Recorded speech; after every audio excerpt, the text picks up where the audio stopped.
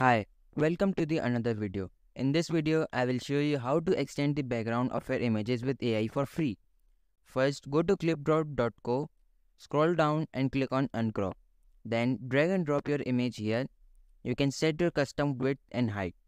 I want to make it 1024 by 1024 pixels. Adjust the image in center. Click on next. It will take some time to generate your final image. It will generate four versions for you preview and select one of them. Click on the download button to download this image.